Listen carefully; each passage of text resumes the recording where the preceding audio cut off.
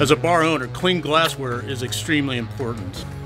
For us, we're most concerned about negative customer experience and impacts to our reputation Nothing gets lipstick off better than KissKleen Glass Washer. A number of things I love about a KissKleen glass washer. Certainly use it in the front of the house in a three compartment sink and additionally as a pre-scrub to the dish machine. But the other piece of this is you can't use it wrong. What we love about KissKleen is these opposing brushes. So you have the middle one that cleans the inside of the glass and then these three brushes capture the outside. It's very easy to clean, just take it apart. You can wash this through the dish machine, sanitary, put it back together the next day, you're ready to go. Hands down, it's the best brush on the market for getting glassware clean.